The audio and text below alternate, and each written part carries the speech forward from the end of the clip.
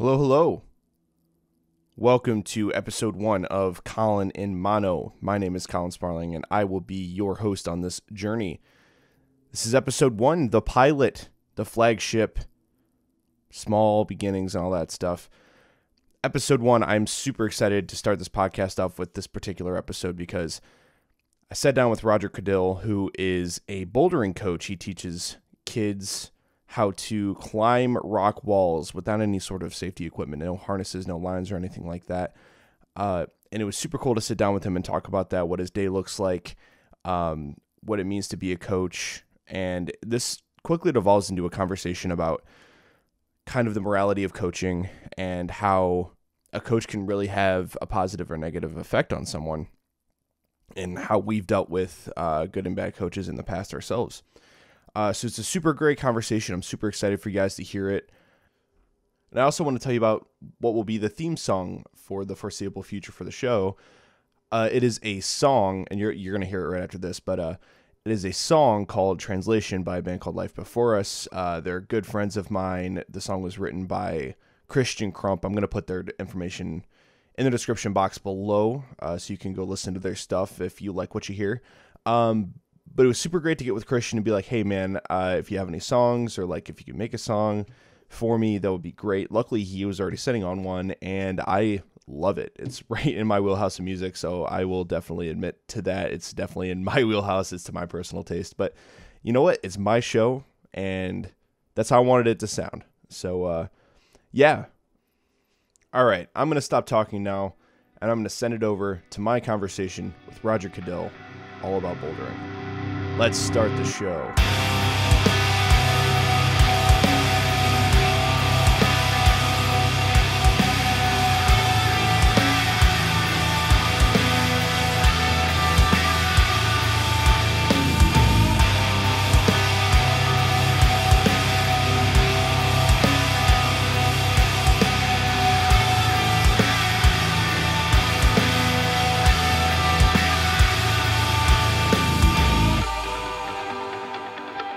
What's going on, everybody? Welcome to Collin and Mono. I am your host, Collin Sparling. Today I am joined by a very special guest. His name is Rodger Caudill. Is that how you say his name? Did you say your name? say, say your name for me. Rodger Caudill. Caudill. Yeah. Caudill. Is that right? Yeah. Okay. Hard K. Hard, hard K. Okay. Uh-huh. Uh, and I brought him in because I'm, I'm super interested in what you do. So we've had many a conversation, at least in passing, about your your profession your your profession rather in bouldering. But you're a bouldering coach, right? Yeah, I coach six teams now. Wow. Holy I- shit. Yeah, it doubled this season, which is more than doubled actually, which is uh, pretty intimidating. It's now a full time job, which I did not expect it to be when I started.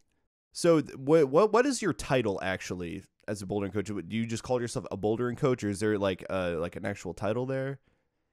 Yeah, I have a few titles. Uh, the biggest one is I am the lead on-site coach. Our on-site team is our highest level of competition for our youth.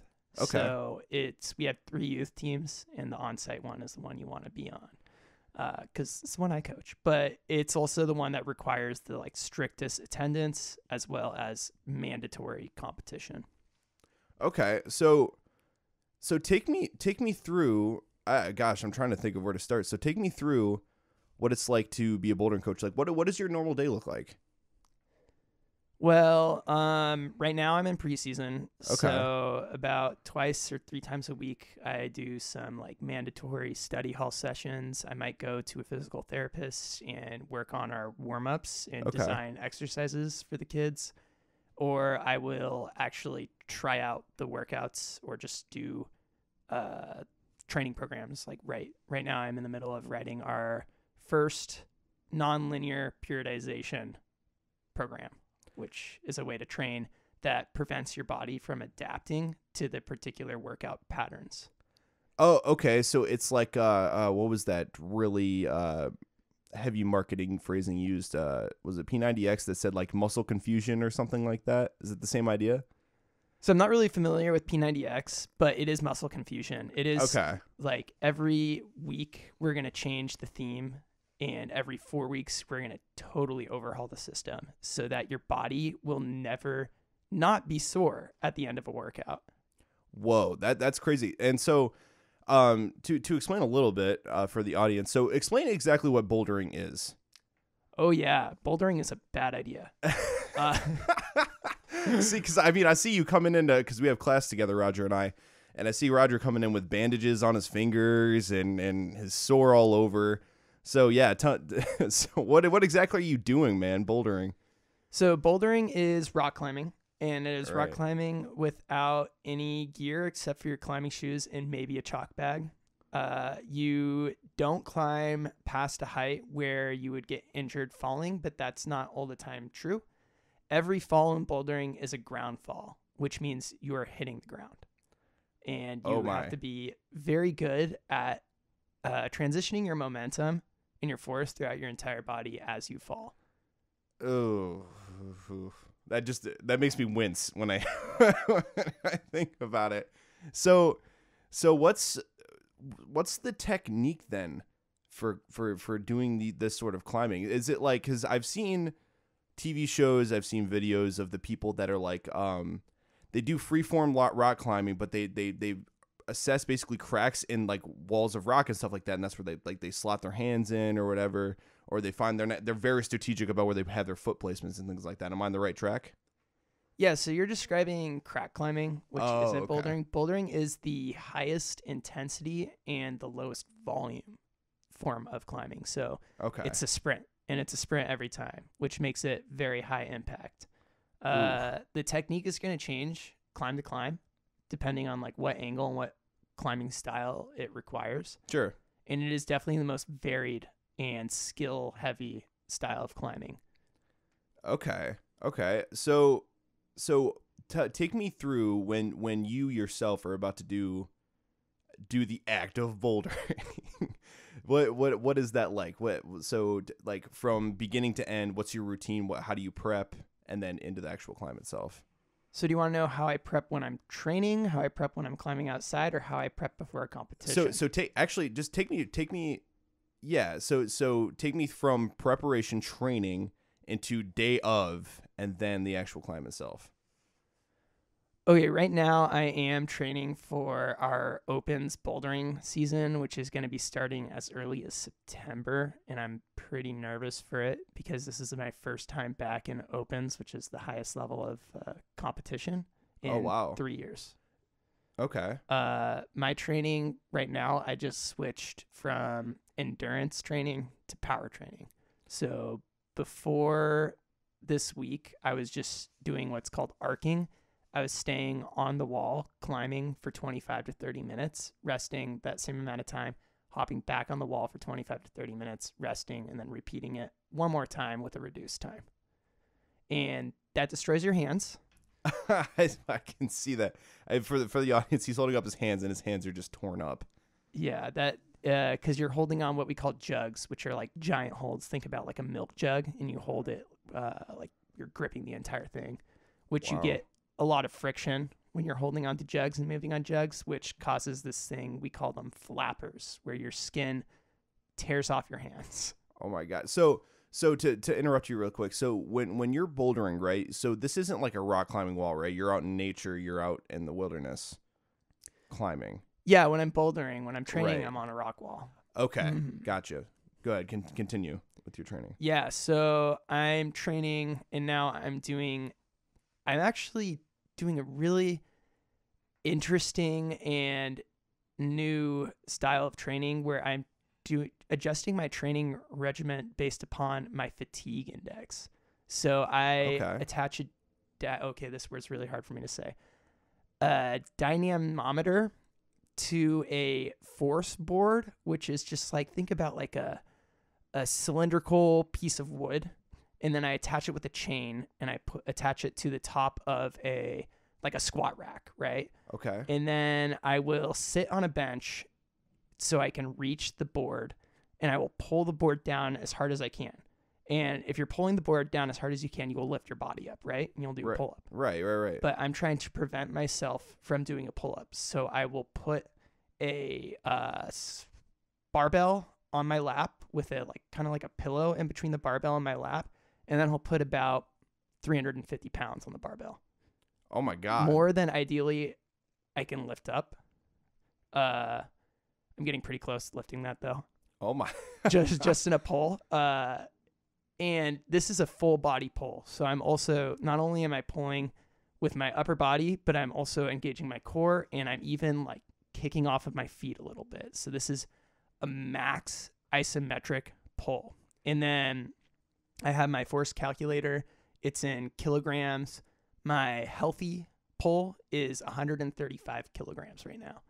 So you can, it's like times 2.2 for pounds, which is, uh, oh God, math. Uh, it's, it's like almost 300 pounds. okay, so you basically, and, and stop me if I'm I'm wrong. So basically, you're just training yourself to be able to throw yourself as easy as possible. Yes, as hard as I can. Yeah. And this is what I do immediately after my warm up. And now I'm doing this to measure my fatigue, not to see what my max is.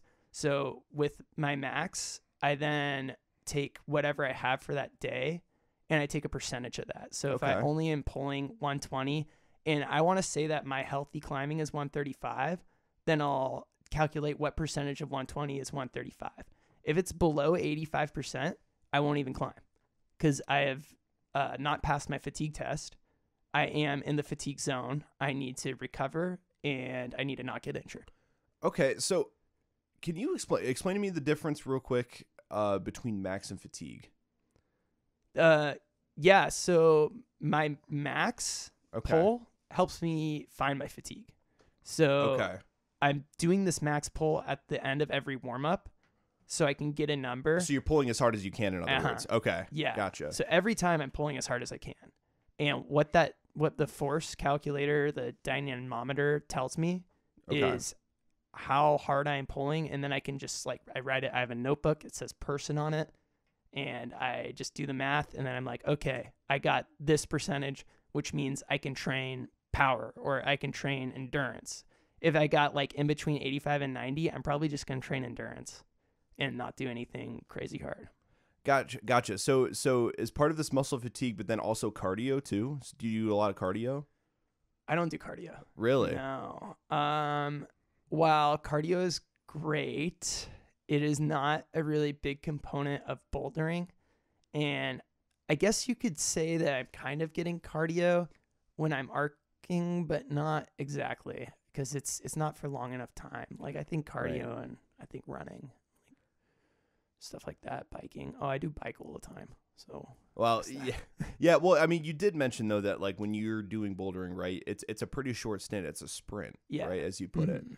Uh, yeah. So I, I mean, you may be, you probably can't do it for an extended, extended period of time, obviously, but like you're trying to be as effective in that short amount of time as possible, right? definitely. Okay. So this, so this is your training. So how many times, how many times a week do you do this? What you just talked about? So I tell people that I tell people I lie to people. You I lie to tell them that. I train two days on, one day off, and that's because I don't want to tell them that I go in and I try to train almost every day. I just do my fatigue test and I let that tell me whether or not I can train. If I need more time to recover, if I can train, because right. If you're not, if you're not hitting your numbers, then you Yeah. need an off day, is what you're saying. Yeah, I am Okay. uh, crunching right now. I'm trying to get as much training in as possible to be as strong as I can in one month, which is a ridiculous jump because I've lost a lot of time this summer. I got in a biking accident Oh my God. and then I got sick and then I sprained my wrist. So I lost so much training time to these like weird injuries that now I'm just like hitting the wall. And like yesterday, I tested really well on my fatigue index and I just did like flash circuits, which is where I like just climb as hard as I can with one attempt on uh, like every hard route. And it felt felt really good yesterday. Well, that, that that's good. I'm, I'm glad it feels good. So so what's if you didn't have all these time constraints now? What would the, the normal timetable for training look like? For a, comp- competition, Training rather. for competitive bouldering Yeah. would take I would want to train for 6 months prior. Six months, and you're trying to do six months worth of work in one month. Oh no, I've been training before this 1 month, but it has not been as consistent. Like consistency is king. Right? Right. And uh I have not been able to be consistent partially due to you know grad school, Right. Uh-huh. yeah. coaching teams, working multiple jobs. I only just started working just one job. Like before, I think a month ago, I quit my other job and I was just working way too much and climbing way too little and getting hurt and not having a good time. And I didn't really need that. So I, I quit my uh, my big boy job and was like, oh, I'm just going to double down on climbing while I still can. Like, Yeah, while while your body still can take it, Mhm. pretty much. yeah. So so you you're you're training, you're training, you're training, and then you get to competition day. So you've been training on rock walls, and so is is getting to the actual competition day, and then so you, I'm assuming so the competitions are then in nature, right, or like somewhere. No, no, they're they're on they're in rock walls. Oh, They're they're, on they are on rock walls. There are some like nature born like circuit climbing competitions where you just like climb a bunch outside. Okay, But I'm doing the uh the open bouldering circuit competition. Gotcha. Okay, so I'm assuming though that is how did they come up with the difficulty for these these walls on competition days? Like, is there a specific method to their madness? Like, is there any way you can prepare for what they're gonna throw at you? Like, So they have route setters okay, make all the routes and they I've also been a route setter before and I've set for competitions. What you do Okay. is it's like hell week right before the week of a competition and you strip and clean all of your walls. And then you set however many routes you need to set and you have to climb all of those routes. But you're usually setting for like the open circuit, a lot of route setters are setting above their ability to climb. Uh, so they'll Really? do these things like they'll do like ladder sends and they'll just try and make sure that every move works. And then they'll be like, well, I think somebody can climb that. I bet you Ashima can climb that. Or right. So yeah, you're trying to make routes that are at least humanly possible. yeah, and it it really helps to know who's going to your competition. Like we're having Northwest Boulder Fest at Seattle Bouldering Project in a few months now, and we're gonna have to figure out, hey, who's gonna come? Like, is Ashima? Uh, she's a one of the strongest boulders right now. She's like Like in the country? 16 in the world. Holy shit! Yeah, and uh, 16 years old, yeah, she's just like um monster. American Japanese gal and she crushes. Uh Yeah. if she can reach it, she can tear it. Like uh, she she just like shreds through walls. It's crazy. Wow. Uh it's hilarious too because she's like five foot two or something. Don't quote Just- me on that. and just killing it. yeah, and everybody's like, but wouldn't it help to be tall? It doesn't. It doesn't help to be tall. Yeah, but like higher center of gravity and all that stuff, and Yeah, more momentum, more injuries. You have to do way more core workouts. It's yeah, it's a nightmare. so okay, so so when when we get to competition days, so say you're competing, right? So what's what what's the routine of that day look like? Oh, wake up early, eat a good breakfast, uh, Sure. go to the first session in the morning, which is an open session. They the style of climbing in the morning is a red point competition, which means you have let's say I have like eight routes to climb in my category. Usually it's more than that. And I want to get my top five sometimes. Sometimes it is like how you do on those all eight routes, but usually it's like top five. And then I'm going to spend the first three hours of that morning trying to get my top five hardest climbs done in as little attempts as possible. So you're still training the morning of?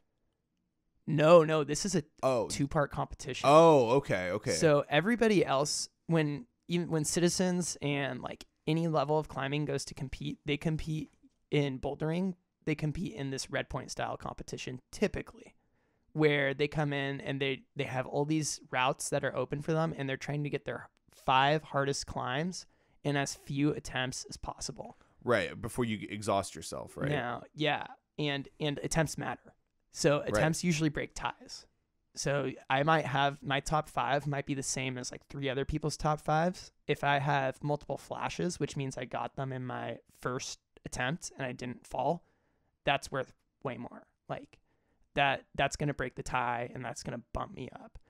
And then for the opens category, the opens category is competing just like everybody else in the beginning but then they're taking like the top four or even up to the top eight in that first morning session, and you're competing again at night in isolation. Oh and wow. That's when it gets really intense. So so when you say attempts, are these like getting the, the so your your top attempt is that your your best time? I assume Time doesn't matter. time doesn't matter. To to a certain point and degree, time doesn't matter. In the evening session, time will matter, and I'll talk about that later. But Okay. uh, like, I can go super slow on a climb. I just don't want to fall on it. It's performance. it's performance. Yeah. Okay, so so what are what are you getting judged on? Can I get to the top of the climb without taking a ground fall? Really, and that's it. The climbs are so hard that just getting to the top is what uh, separates the top five usually. Wow, because every time I've ever heard you talk about a competition, I just assumed that it was whoever could climb this the fastest. That's speed climbing, uh, and I don't condone speed climbing. I'm kidding. Speed climbing is fun. Uh, it's not for me. I'm training kids in it. I do condone speed climbing. Oh my god. I was like, oh no, that sounds really dangerous. Never mind, I actually do condone it. I'm like, okay.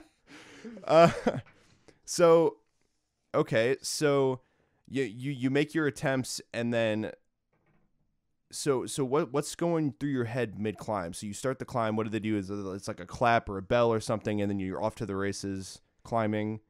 So in that morning session, it's like pretty relaxed. Okay. Um, depending on the like scale of the competition, like Northwest Boulder Fest, the one we have at Seattle Bouldering Project, is pretty intense. There's gonna be like camera crews around and stuff. Holy shit. Okay. because it's the biggest one in the state of Washington. It's this probably either the biggest or the second biggest. Is this on TV? uh, it's live streamed. Oh Mhm. wow. Yeah, and uh, last year I did not make it past the morning session, which I was like, I had two sprained wrists during that competition. Oh my so God. Uh, I actually ended up working the live stream later on that night, and that's probably what's going to be happening this year. I'm probably going. Hopefully, I'm going to MC it if if uh, I don't make it into the finals, which is very likely at this point. Uh, Okay. But Yeah, I think I lost track of the question. Yeah, so uh, just I want to I want to know your your mental state, like what's going through your head when you're just about to actually start the deed of climbing, right? So Yeah. like what's going through your head before and then right when you start. So in the morning session, I am looking at the route and I am doing what we call route reading. I'm trying to figure out what is the best way for me to climb this route so I don't fall and I save as much energy as possible. So you're looking at this wall kind of like connecting the dots in your head, Yeah, like where am I gonna where are my feet and my hands going to land here here here here and here. it's exactly that. It's a puzzle. Okay. Uh-huh. And then I have to perform on it. Now, I am uh I'm going to brag. I am it, go very good at flashing routes, getting routes in my first attempt. My flash grade is super similar to my project grade. Now, flash grade is what you can get on your first try. Project grade is what you can get on unlimited tries. On unlimited tries. Yeah, usually people have a huge differential in between what they can get on their first try and what they can get on their uh like 80th try because you have 80 attempts. On Right, you're route. working you're Yeah. working on the same wall. Eventually you're going to get that, you know, you're going to get find the way to put that puzzle together. People have a joke when I climb. If I can't get it on my first try, I usually can't get it. really? Uh, and I do pride myself on that to a fault. It is both a fault in that I don't have a good project attitude, which I will uh, recognize. I usually just like to climb, but it's also uh, reflective of my ability to read routes. So I am very uh, heavily focused on visualization. So when I see a climb, I will climb the climb in my head and I will give it two or three attempts in my mind before I even get on it. And these aren't just like imagining myself climbing the route. I'll go through the motions. I will flex each muscle that I see that I have to use, and I will try and simulate it so I establish the muscle memory. So when I just get on that start, on the very first move, I've already pulled that first move, and I've already pulled the second move. Wow, that's crazy. That's like some stuff you would see out of like I don't know an anime or something. It's it's real. Visualization is oh geez, there is this um great study done. Now I'll I'll find it and you can put it in your notes in your podcast notes or whatnot. Okay. Uh, but it's pretty much the two groups of people. The first group, they're both solving a puzzle. The first group gets to solve the puzzle, and they get time with the puzzle, like figuring out with their hands how they're going to solve this puzzle. The second group has to stand away from the puzzle and has to visualize solving the puzzle. Now, I think they both get like 10 minutes to play with the puzzle and visualize the puzzle, and then they reset the clock and then they have to solve it. The group that was doing the visualization actually solved the puzzle faster. I mean, that doesn't surprise me, but that's still really cool to know that there's data data to back that. Yeah. It's wow. visualization. Damn. Really awesome. So when when you go to start your climb, when you're the one who's up next to do the climb, uh, is do they give you time to do all that, or do you like, or or is it like, hey, come on, buddy, you gotta go? In the morning session, we have three hours to get all of our climbs. When I'm on the Oh, climb, wow. I can Okay. take as much time as I want to. So I'm not gonna, because I'm bouldering, which is a power activity, I don't want to stay on a hold for more than five seconds usually. So I'm going pretty fast, unless it's a, what we call a resting position. And I can like find a heel hook, which is where I put my heel usually by my head and hang it on the hold where my hands are in level so I can offload all my weight into my hamstring and uh, depump my hands. Uh, pump is where you have excess lactic acid buildup in your arms and you're trying to get more blood circulation to get rid of the pump so you can climb. Oh, so it, it's literally the pump like like you would get when you work out when you Yep. lift. It's the pump. Yeah. Okay, like like Arnold Schwarzenegger would talk about. Mhm.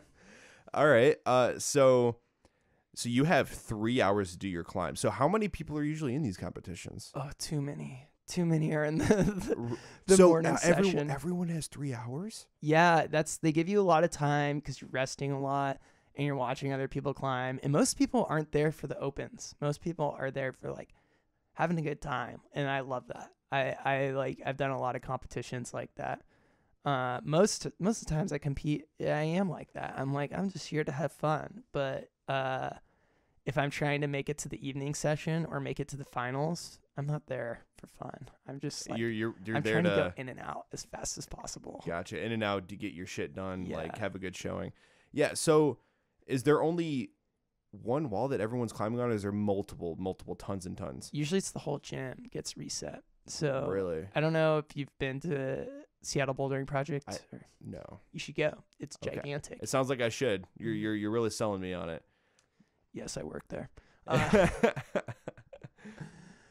uh, so, yeah. So they set the whole gym up So uh, with at walls to climb. SBP, it's just the upstairs section, which is just the upstairs section. As Seattle Bouldering Project is the biggest bouldering gym in the United States. How big are we talking here? Oh my gosh. Yeah, I guess I should compare it to Yeah. something that other people can. Let's see. Are, are we talking like like a warehouse, like bigger than like? Are we talking like a Walmart sized building?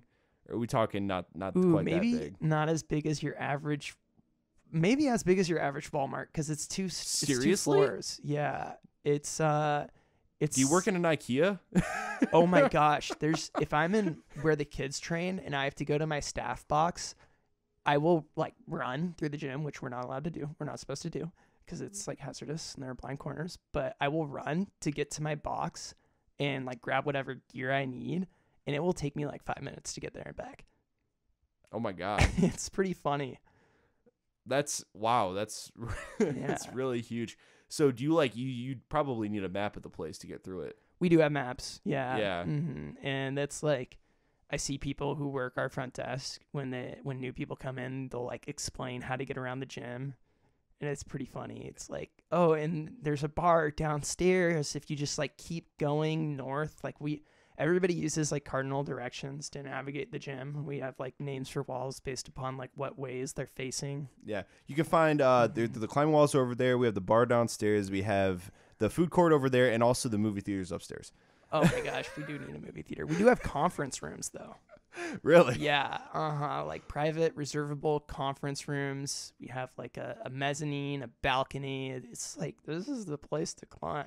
It just sounds like a cool place to hang out in general. It is. It's. I'm. I'm really lucky to have this facility that professional climbers travel to to train at. Like just last night, Alex Honnold was there. I don't know if you know who Alex I, Honnold I, is. I don't. Full disclosure. He's the guy. Uh, He's the guy in climbing. You may have seen this movie called Free Solo, or heard of it. Maybe. He is uh the just ooh what what can I say about Alex Honnold? Is That- he is he like the uh, Eddie Van Halen of rock climbing? So Alex Honnold is most known for his free solo climbing. So he climbs big wall climbs that can take like 12 hours to do without any gear or any protection. So if he falls, he there's no way to get around this. He will die. Wow. Yeah. And how old is this man? Oh god, I don't know how old and he, he, he he's 22. I'm just uh, no, no, he's he's probably in his uh, late 30s. oh, okay. Yeah. Okay. He's uh he's not a boulder, so uh he just he's an endurance athlete for sure. And he's a really talented climber. So what what's the big difference between what what he does free solo as you put it, right? Mm-hmm. And bouldering? Uh free soloing is bouldering times 12 hours. What? so he's just climbing boulders, like never ending boulders with no protection. Uh, I'm climbing a boulder. My protection is the ground where I put crash pads under me if I, that I like try to fall on if I think I'm gonna fall. Doesn't always work out like that, but hopefully you have somebody also spotting you, like directing your fall into the pad. Uh, if Alex Honnold falls, he dies.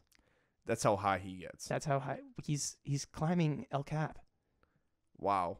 Yeah. So what so has I mean, does this guy has he broken several bones? Like is this dude just like really fucked himself up or what? Like You know, um, climbing what we call sport climbing, which is where you're usually climbing with a rope. You're not free soloing, and you're climbing like a, big route. Sometimes we call it multi pitch. If you have to like set up multiple ropes to climb it, it's actually less dangerous than bouldering because it's not sprinting. It's not high impact. It is a bunch of really, not really, but it's a bunch of easier movements that typically most people who are sport climbing and they're sport climbing really hard, I would say like you're a serious sport climber once you're climbing 512. That's just climbing like V4s. And V4 is one third of what you need to climb professionally in bouldering.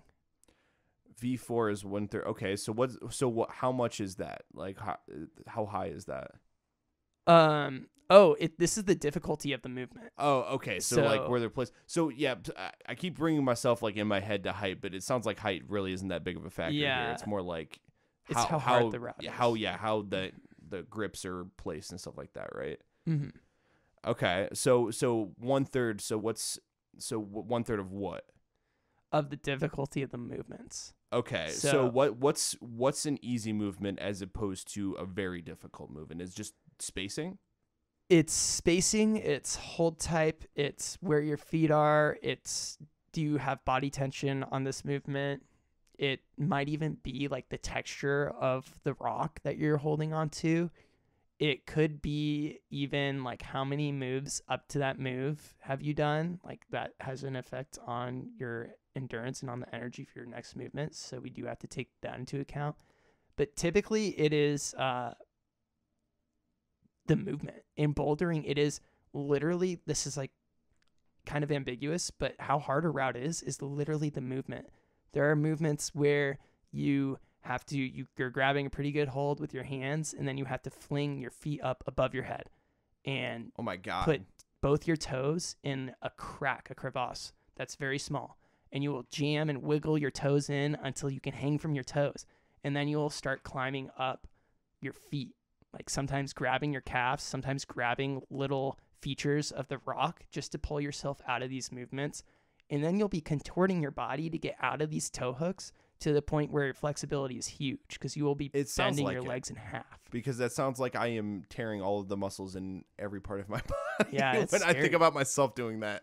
and that movement that I described is so common in uh, really hard bouldering that we have a name for it. It's called the bat hang. It's called the what? The, bat hang. The bat hang. And we like whenever you have a name for a movement, it means you're doing it a lot. So we have the bat hang, and we have another really complicated movement is called the knee bar. Which do you, do you think you can deduce what that is? A knee bar, dude. Uh God, I don't even know. Like, are you just are you using your knee to like get get onto the next grip or something like that? So you are wedging your knee. So you find a toe, like a, a place to put your toe, and then you drive your knee into the wall and you're wedging your knee into the wall. Ideally, there's a place that can like provide some sort of opposition between your toe and your knee. So you get your leg effectively stuck in the wall so that you can what we call a cut, but you're cutting your hands, which means removing your hands from the wall and hanging off of this knee bar, which is just the a body jam. Damn. So, you, so you're basically finding a divot in the wall so you completely support yourself with your legs only. You can remove your hands so you can get to the Yeah. next. Wow. You want to see a really cool knee bar uh, on YouTube? Adam Ondra climbs a the hardest sport climb in the world called Silence, and there are some absolutely insane knee bars in that climb. Uh, I'll, I'll put a YouTube link in your comment description. Yeah, well. yeah. You need to make sure you send me this stuff because this is Yeah. insane. This is like I. It's it's so crazy that it's like I can barely even imagine how how this works in in my head. I think I would have to see it to believe it. You know that sort of thing. I so so this is crazy. So like you you spend your three hours climbing and you're doing this, and so like how how do you usually feel after the morning session? Like, are you? I mean, you're probably pretty or pretty exhausted already. Um, ideally, I've saved a lot of energy Okay. in my morning session and I've only like climbed a few times just to get my top 5 and I, ideally that is enough to get me to the evening session where I've only been to these evening sessions twice. I've only gotten to the finals twice cuz it's that competitive. it's very competitive Wow. and I am not super strong.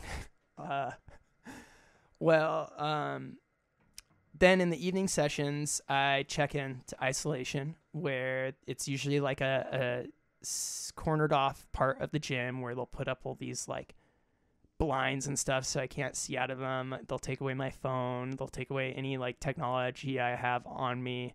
And there'll usually be like some space for me to use some workout equipment to warm up. And if they're a nice gym, they'll also provide me water and snacks, which is really great. So thank you for that. And then uh, one by one, we will get called out to go to the finals to do our climbs. And usually we'll have, it's actually changed a few times. I think, so wait, you're just like kind of waiting around to hear if you made it or not. oh, for the for the whole day, I'm waiting around to hear if I, I made it. I'm waiting for the results, Okay. right? So that And that's what takes a lot of the time. that takes a lot of the time. And they, they want to push all the other like citizens through the comps. Usually they have to like, the competition is running all day in different categories. The opens category goes earliest in the morning, so we have more time to recover before finals. That makes sense. Okay, and and so, but so after you finish your climbs, and I know we're kind of going on a broken timeline here, but after you finish your climbs, so how are, how are they how are they judging you exactly? Like, what's so you you you said you've been a judge before for these competitions? Oh, well, he turned around and he showed me the back of his shirt that says "judge" on it. so Uh, what what what are you looking for? So when I am when I don't make podium, I'm wearing a USA Climbing Judge shirt that is an official shirt. And I am judging people. I'm just making sure that they don't have false starts, which means we require you to establish on a start. So you have to like kick off the wall or cut you have to come off the ground and show control and then you can start climbing. That's probably the biggest thing I'm looking for right away. And then I'm making sure that oh god hopefully this stuff doesn't happen but like holds don't spin they don't break this has happened Oh, before Shit. But- yeah, I didn't even think about that. yeah uh and then i'm making sure like they don't communicate to other participants, which is a hard one. Oh well, yeah, because that I mean that's cheating effectively, right? So yeah, and then I'm also making sure that they finish the route with control. So you have to you go to the finish hold, which is the the last hold in the route is usually taped. It's marked, and it's very dramatic. So usually it's a pretty good hold. And they move to it with one hand. We require a match, so they have to put both hands on the finish hold, and they have to control that for three seconds. Sometimes the hardest part of a climb is the finish, and setters will do this because they hate me.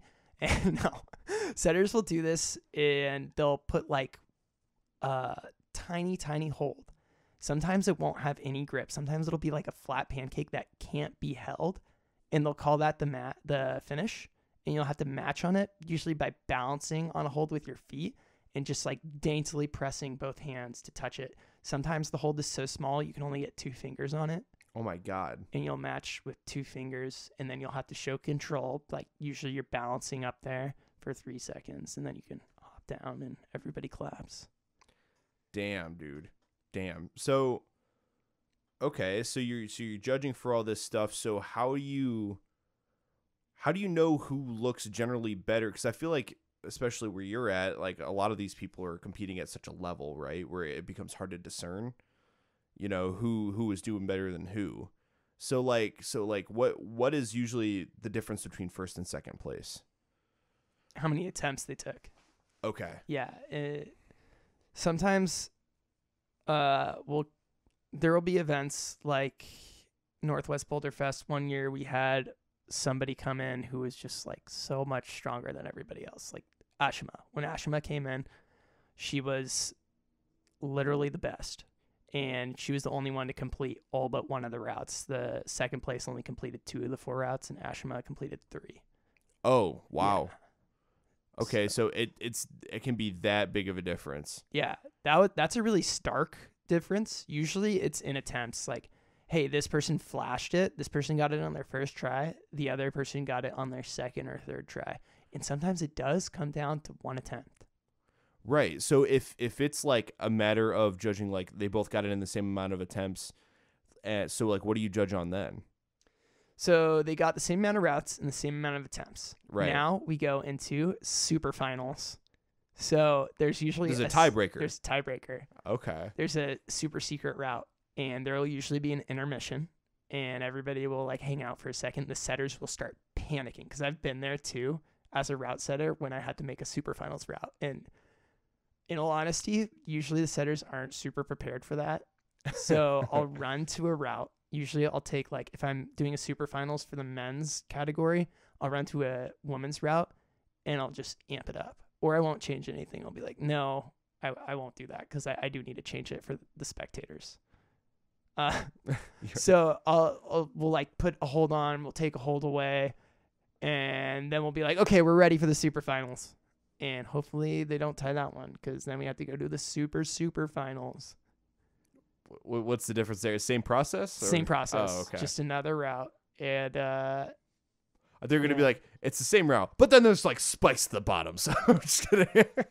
yeah, I've been to a competition where the setters didn't prepare for a super finals for the female category and there's like a three-way tie so they just went to the men's routes oh my. and they did like the third hardest men's routes and it was actually it ended up working but that is not good protocol that actually that looks really bad Ooh. for for a route setter to have to do that like oh we're just going to put you on the men's routes because not only like does that show that you are segregating these routes based on sex which uh in climbing there there are reasons to have segregated routes based on sex because like dimorphism the difference in uh body size.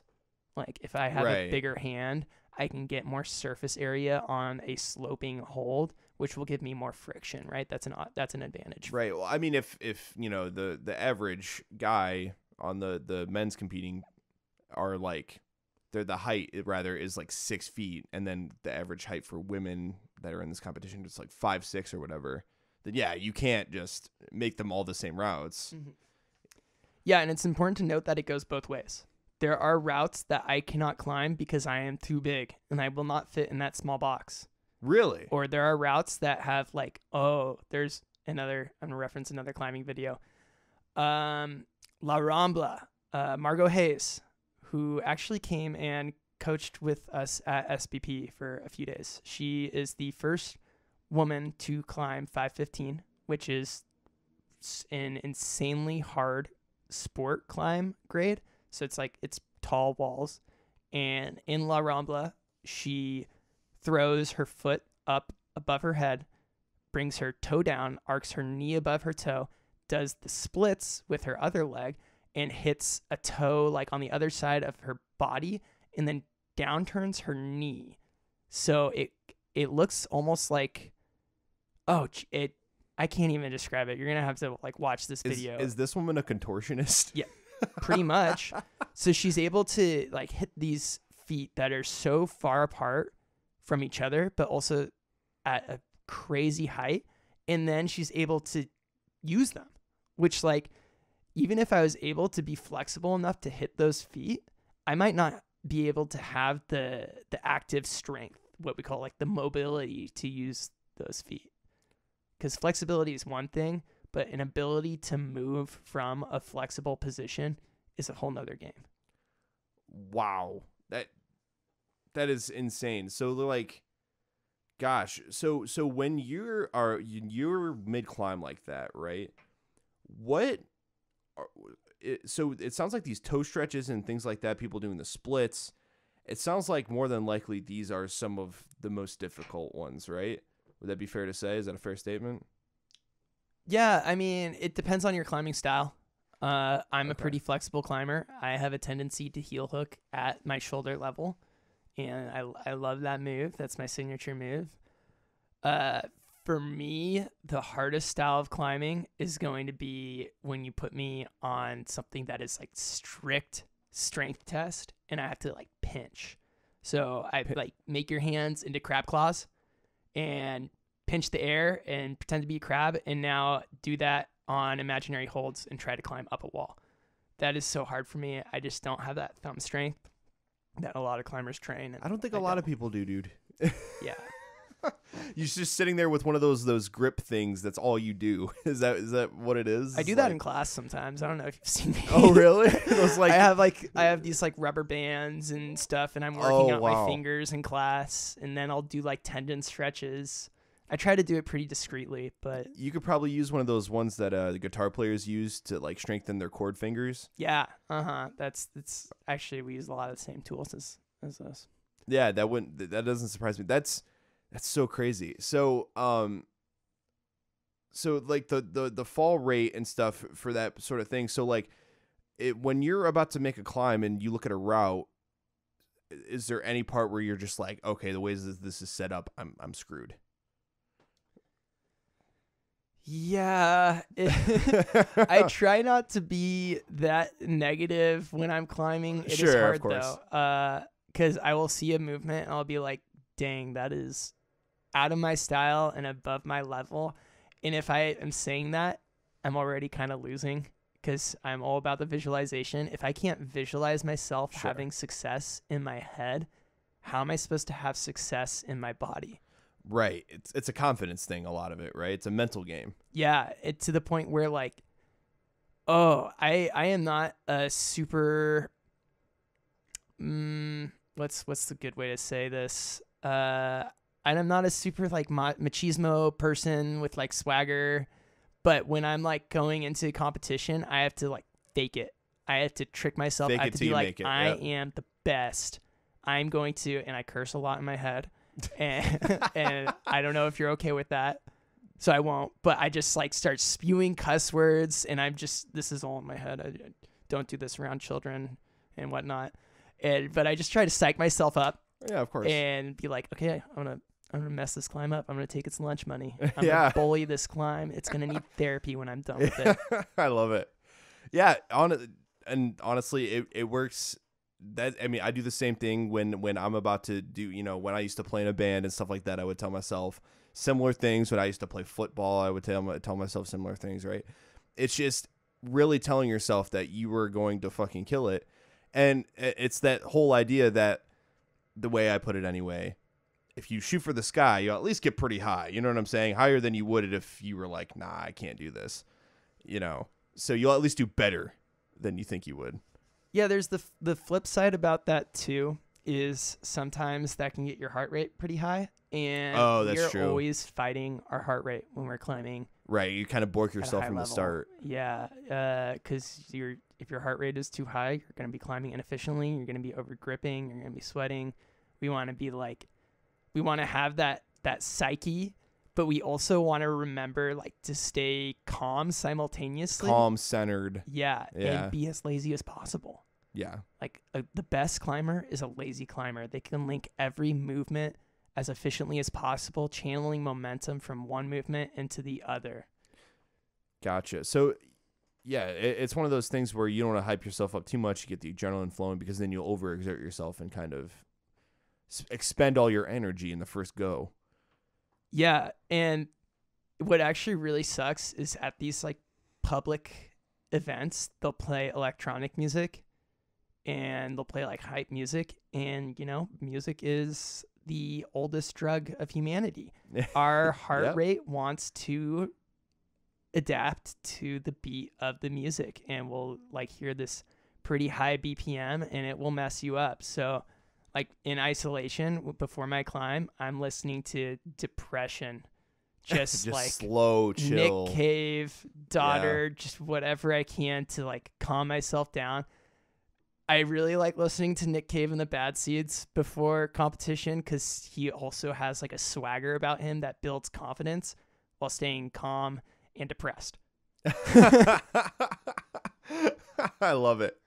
Yeah, I you know, I was definitely the opposite when I would do like any sort of a lot of physical activity. I would need something like I mean, obviously it's not like rock climbing where I'm just like kind of exerting myself out of the gate, but um I I would listen to like I I like really really heavy brutal angry music. That that's what would I would listen to, not really so much electronic. It would just be you know, I'm gonna break your face in and shit like that. You know, you know, like just like you know stuff that would make you want to like kill your cat or something. I don't know, just stuff that's really brutal and heavy. I love it. Yeah, and I, I Yeah. want that like I want those heavy vibes, but I don't want like the the really intense and fast pacing of like metal music. I, I love listening to metal, but Right. it's before a competition. well, there's slower metal out there too. You can make Doom metal. Yeah, there Yeah. there's slow and heavy. I mean, there's metal for anything and everything out there. Um, but I digress. Yeah, so it's just like listening to music is is certainly like the best therapy I think when it comes to physical activity in any sense. You know, because it's just it can help you so much mentally. And so okay, so you get through morning competition and then you're moving on to afternoon. So what's what's downtime between the between the two? I don't like to think about climbing when I'm in between the two. Uh, Yeah. I I want to eat right away. I want to eat lots of sugar. Um, Lots of carbs. yeah, lots Okay. of carbs. Maybe maybe not too much food Sure, because I sure. also want to be kind of light for the for the rest of the day. Right, you don't want to weigh yourself down. You don't want to make yourself groggy, you know. So you're not going to go out and eat a fried chicken sandwich with fries, probably. And then I will like start my warm up an hour and a half before the comp, and I'll start. I'll do like some myofascial release, which is where I take like a lacrosse ball or a tennis ball, and I break down the sheaths around my muscles. So, So you're like rolling it. you're rolling. Okay, yeah. gotcha. And there's been some research that doing myofascial release in short spurts can increase your body awareness and your proprioception. Here's a word of the day proprioception. That means uh, being able to know where your body is in space, regardless of whether you're seeing your body. Ah, something that people t- at work will tell you that I don't have. Yeah. proprioception, you can train proprioception anytime you do basic tasks. Just close your eyes. Boom. Huh. and you will become so much better at moving your body if you just close your eyes and do basic things. And I encourage that. Like if if you find yourself like feeling kind of clumsy like pretty regularly, just try closing your eyes every now and then. now, now people are going to be running into walls listening to this. In and- safe spaces. baby proof your house people uh, uh, okay, so um, so we get up to just about comp, you know, afternoon competition time, evening competition, um, and so are you? You so you said you start warming up an hour and a half ahead of time, right? So what's that like? So you roll? Is that when you're rolling and stuff like that? I'm rolling and I'm doing a lot of spinal mobility, so uh, hip circles, torso circles, Gotcha. neck movements. Also, for the sake of increasing my proprioception, uh, I will do a on the wall warm up where I will climb really easy stuff, Mm-hmm. get blood moving, not that much, not enough to get pumped, and then I'll do one or two, maybe even three really really hard routes where I will like maximum effort just to get like okay, this is what my max feels like, and I need to be stronger than this. I So you're you're you're climbing as part of your warm up. I am Okay. towards the end. Wow. Wow. I mean, I feel like that could that could screw you though sometimes, right? Um, it could.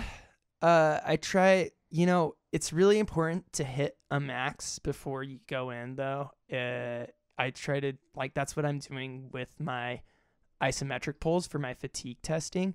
So it's it's also a part of the habit, and the habit really helps. And once I've pulled my max, I will hang out for like ten minutes, and I'll uh, listen to Bill Callahan's "Riding for the Feeling." Oh, it's got to be that song. It's got to be that song because that is that's the hype song without any of the hype.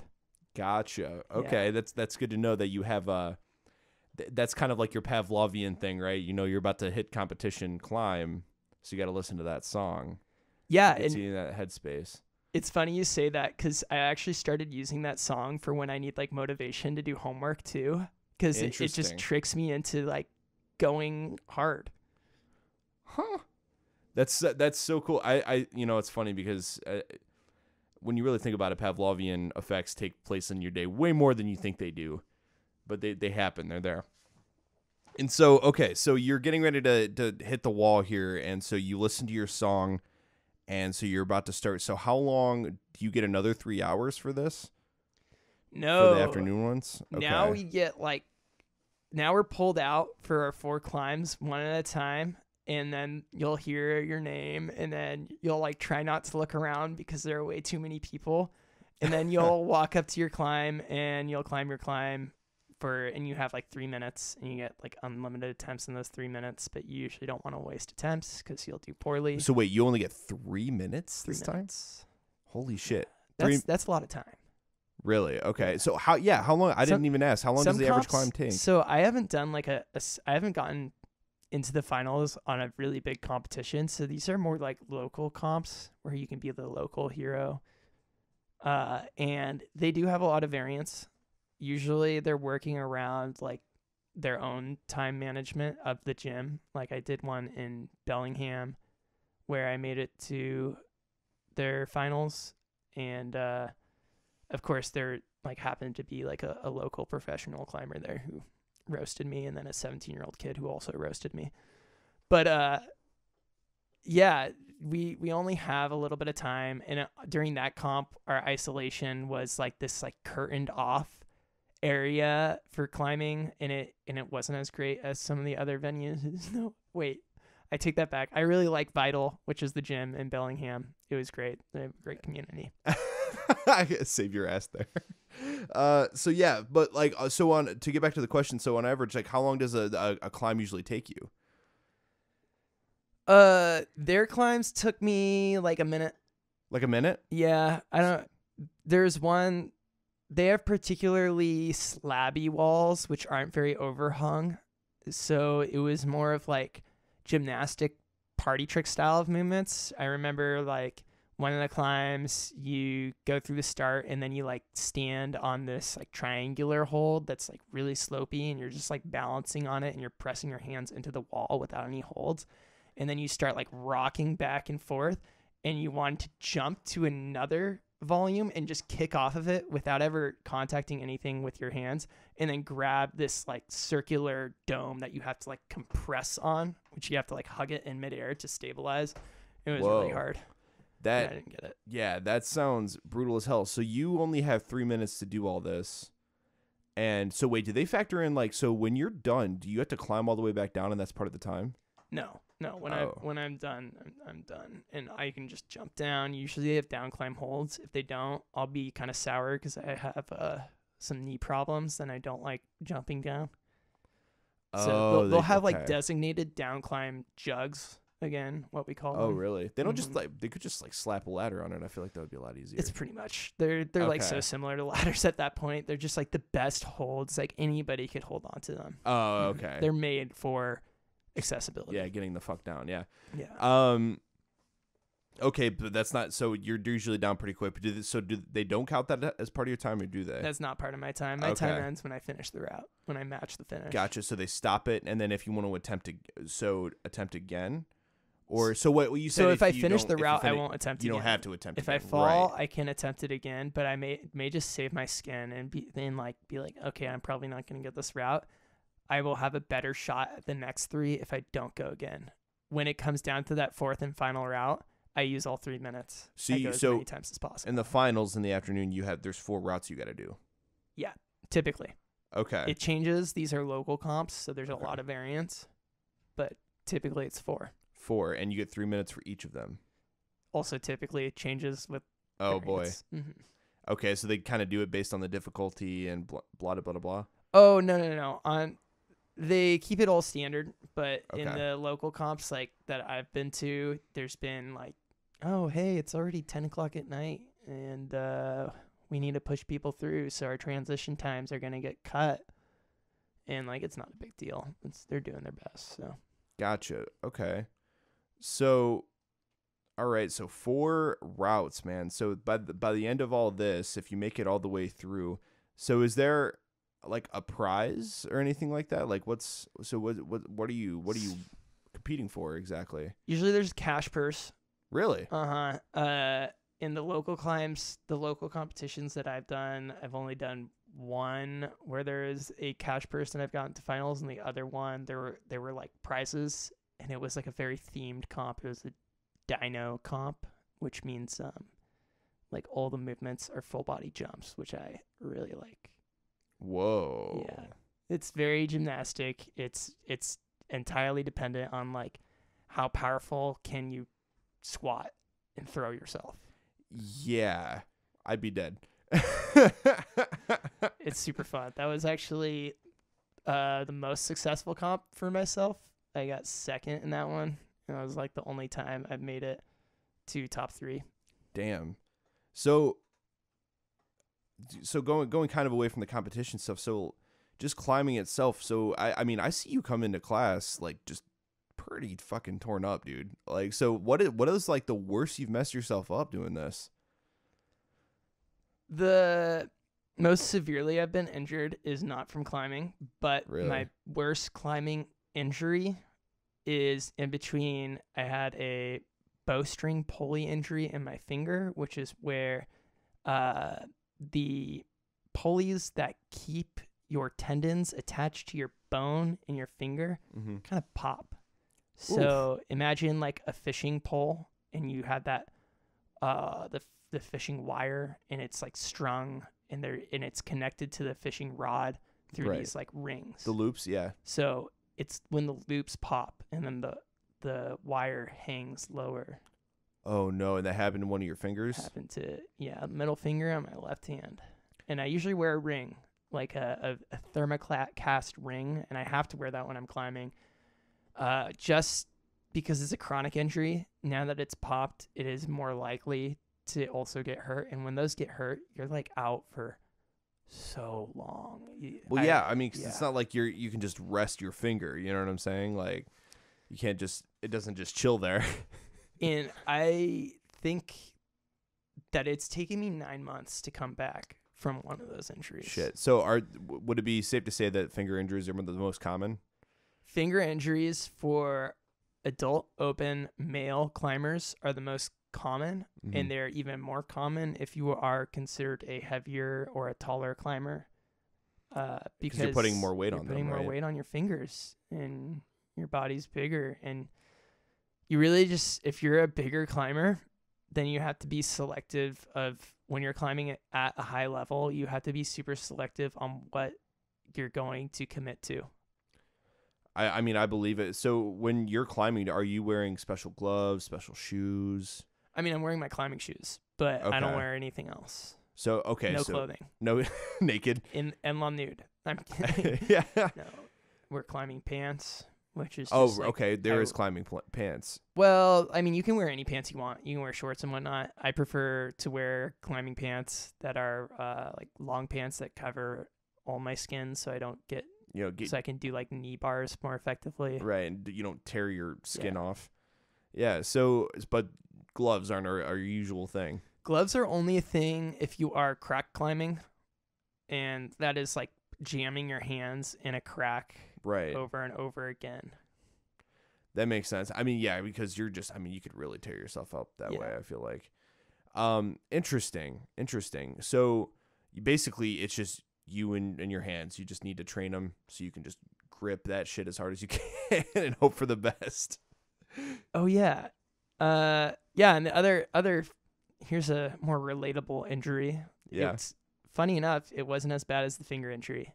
I fell from the top of a wall and I landed face first on the ground and I broke three bones in my face. I broke my nose, I broke my orbital, and I broke my brow bone. Yeah. And I just got back up and I tried the route again. Oh my god. I just had no idea what had happened. I, I must have been in shock and I just like kept climbing. I was Did- like, ah, that's. Did you get through it? I I mean, no, I didn't get the route.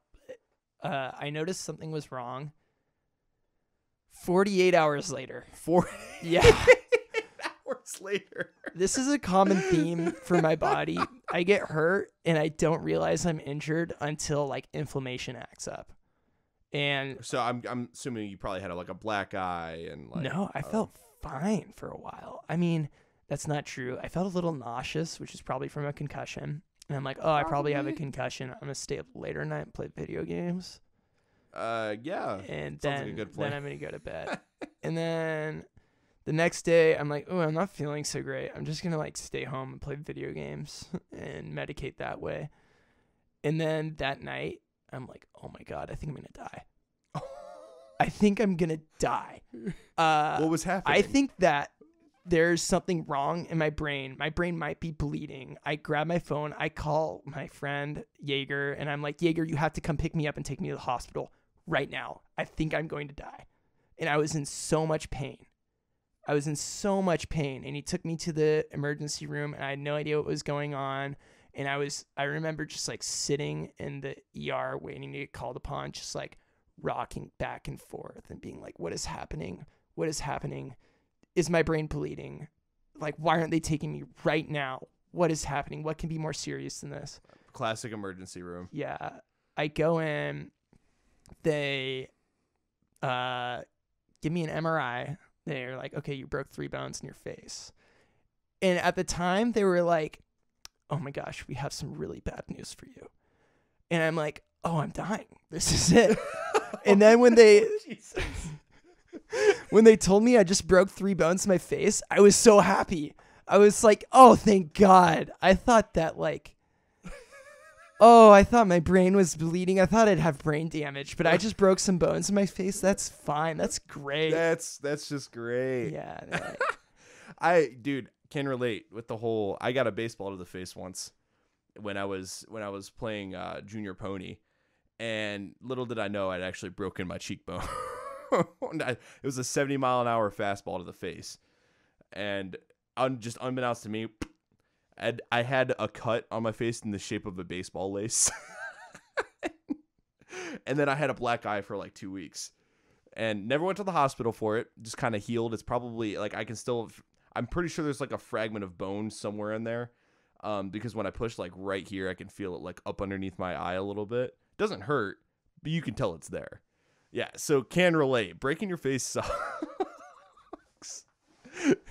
yeah, br- breaking your face does suck. But that wasn't even the low.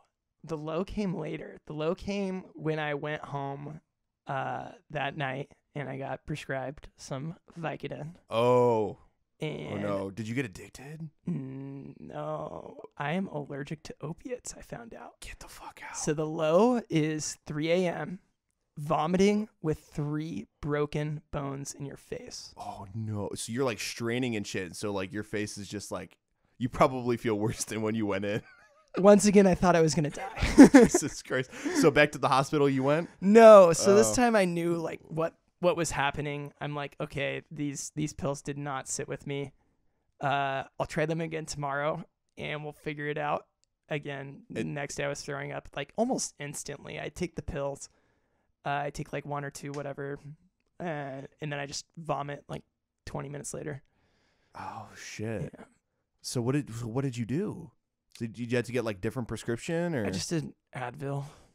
Are you fucking kidding me? They had, they gave me super Advil, like the really heavy 800 milligram. Just so Advils. some strong ass Yeah. ibuprofen. hmm pretty much. and like that's that's not really good for your body either. No, Like- ibuprofen is, is it's funny because I was listening to Rogan the other day, and he was talking about like, I think it was Rogan. He's talking about apparently ibuprofen is awful for you. It fucks up your stomach biome, or, so, or something like that. It's fine to take every once in a while, but there was a, I guess a dude he was talking about that took it every single day, and it just destroyed him. Like his like his health was in the dumps. Like dude was sick all the time, and and like it was poisoning him. And so, like, as soon as he stopped taking it, he got better. Yeah, I will go to great lengths to not take Advil to the point of like I've been talking to my physical therapist about what anti-inflammatories I can take that aren't Ad- Advil. And like I have a very nice turmeric supplement now. Is that how you say that word? T- turmeric, Turmeric. turmeric, turmeric. People I- say it is that differently. is that a is I think that's a tomato tomato there, isn't it? maybe, hopefully. Yeah. I, mean, we're just gonna assume so for the sa- sake of this episode. and then there's different types of cinnamon as well that you can take. It's it's not your like regular store bought cinnamon. It's Ci- expensive cinnamon. Medicated cinnamon. Well, it's not it's not like made for medication, but it's an anti-inflammatory, and you can just put it in your coffee, and, or put it in your pancakes, or put it in your oatmeal, and like So it works like regular cinnamon. yeah, yeah, it's it tastes great, and it's usually like better cinnamon because it's like a higher, it's like a better quality. I'll I'll do um. I'll look up what cinnamon I'm I'm using, and we can put in your notes. Hell yeah, dude! I tons of notes here. I love it. Tons of notes. Yeah. Uh. So, damn. So br- break your face, tear up your fingers. So no broken legs or anything like that. No landing wrong or any anything. Um, fall injuries. I only have the broken face. Uh, wow. I have dislocated my fibula, but that was playing soccer. Oof. The most dangerous game. the most dangerous game. I played seven years of football, not a single injury. Uh, kind of unbelievable. Unbelievable. I mean, I have a bad ankle because of it. But that's about it. I kind of, I got really lucky. Have you got an EEG, an electroencephalogram? What the fuck is that? I know there's your other word. I got you with proprioception, and now I'm hitting you with electroencephalogram. Yeah. Uh, that is a brain scan. Oh no, You I've never had to measure have the one of those. impact of microconcussions. Ooh, fun. I did have a buddy that did. Had, on the flip side, he got three concussions during when we played football together. Yeah, it's uh I am I played some football too. And I probably got a lot of micro concussions and I'm probably going to have to deal with those when I am in my late 40s. Uh, it's not going to be a fun thing when oh our shit. brain starts being like, "Oh, your parents thought this was okay," when it's really not a good idea. Yeah, I think it was like after the third or fourth concussion, you can't play sports anymore. Is this, the rules in my school district anyway? Yeah, who follows those rules though? Yeah, I know, right? yeah and kids think they're they think they're unstoppable and they're just going to keep doing it because everybody else is doing it and it's just not safe and it Yeah, is Y- Yeah, so you, sad there's got to be some some sort of something to having kids doing these very sit physically as uh, like exertive, but also very high impact sports at such a young age when their bodies are still developing. I feel like that's a really good way to set someone up for health failure later in life. Yeah and kids have more neural plasticity when they're young so like their brains can recover better so i am thankful. they can or cannot. they can Okay. hmm I am thankful that I when I did play football, I was pretty young, and I'm hoping that that will act in my benefit. But then I switched to lacrosse, and definitely got a lot of head injuries. Oh in yeah, lacrosse. is brutal, man. Yeah, The I, I I don't know if the pads are quite as thick as in football either. They're not, No. and you get a, a lot of micro concussions, and we're actually the research is pointing towards the impact of micro concussions as a bigger factor to having traumatic brain injuries. Really? later on in life. And that is scary because these are not identifiable instances of traumatic brain injury like a real concussion, not like a real, like a uh, macro level concussion is. Like when you get what you think is a concussion, you know it. When you get a micro concussion, you don't know it. You you get bonked in the head, and it's not. And maybe you're dazed for like a second, and then you're immediately 100 percent and it's these small ones like heading a ball in soccer or like rattling your helmet back and forth really fast in lacrosse as like some sort of war chant. These are the ones that are going to bite us. Really? Yeah. I never I never knew about that. So like is it just because over time you get so many they just kind of like build and build and build and build? And then so like what is this like leading to dementia or something like that like later? Dementia is one thing it leads to. Yeah. It could also lead to depression. Mm. It could also lead to domestic abuse. What? Yes, there is a Yeah. stark correlation Yeah. With uh, brain injury and domestic abuse. Microconcussions and domestic, domestic abuse? Yeah, maybe I should look for that study for you again. Geez, I should write all this stuff down before I go. Maybe. Uh-huh. I'll just have you I, I'll, I'll have you text me them later and I'll, I'll add them into the show notes. Mhm. So that that's so crazy. Like dom- domestic abuse as a correlate. I'm I'm definitely gonna have to read in these studies. So all those injuries, but then we also we got to talking about about kids a little bit, and you also coach kids, right? yes. Okay, so so what what is it like welcoming kids into the wonderful wo- world of bouldering? It's the best. Yeah, Yes. Oh my gosh. I love my job. yeah, Yeah. yeah. Because you're first and foremost a coach, right? Uh huh. And I get to see these kids. I've had some of these kids for two years, and I get to see them grow. And I remember, geez, I, I had this one 10 year old kid. Okay, I don't like saying this because I don't like labeling the kids for good labels or bad labels. So this is like not going to come back to this kid. I won't even say his name, of course. But this kid is on the track for the Olympics in 2024 in Paris for climbing. No shit. This How individual old's this kid? right now he's 12 Oh shit. Okay. and i won't even tell him this i won't even I, I do probably have to talk to his parents at one point in time but i am so hesitant to say this because if if he wants to pursue this it will kill his childhood and i don't want to be the person to kill his childhood kill his childhood. How like just training and all that? he has the potential and he has the attitude and he has the mental game to be a serious contender for the Olympics in 2024. To do this, he has to stop being a child at age 12. He has to come to the gym and train six days a week. Not climbing, not having fun. Maybe three of those days are fun. The other three days are rehab, our prehab, our injury prevention, our like core training, weightlifting, uh, like training his metabolic systems, and they're just not fun. And geez, this kid, he's he's playing ultimate frisbee right now, and he's so excited about that. And Damn. he actually at a he came to one of my classes last night after doing ultimate frisbee for like six hours and he was pretty fatigued and like falling off of stuff he usually doesn't fall off of and but i wouldn't want to tell him to not play ultimate Right. Like how do you how do you balance that, you know, letting letting a kid be a kid and also but like this kid shows talent, you know what I'm saying with that. And it it's that weird thing where at that age does a kid really know what they're getting themselves into. You know what I'm saying? Like I don't they're at that age where they don't really realize that they're dedicating themselves to something like this and they're losing out on all this other stuff until later. Right? So it's not like they can truly make an informed decision. Yeah, you're referencing like the Eriksonian stages of identity development. Yeah, And, kind like, of. In this, at age 12, you're figuring out are you good at anything?